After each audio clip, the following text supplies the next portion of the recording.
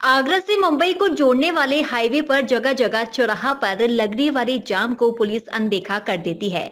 लेकिन इसी जाम के चलते हाईवे पर दुर्घटनाएँ होती रहती हैं, जिसके चलते सोमवार को दिल्ली हाईवे पर तीन लोगों की मौत हो चुकी है। उसके बाद भी पुलिस प्रशासन इस पर लगाम नहीं लगा पा रहा है।